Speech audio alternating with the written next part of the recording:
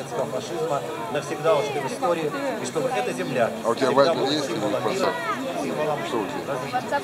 развития, Дорогие друзья, позвольте еще раз поприветствовать всех на этом замечательном самое замечательное история о том, что память народа живет, пока жива историческая память. Праздником!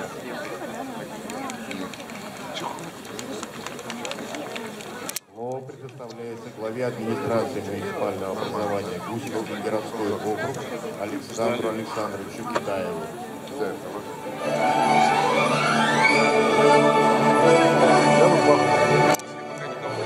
Дорогие друзья, я рад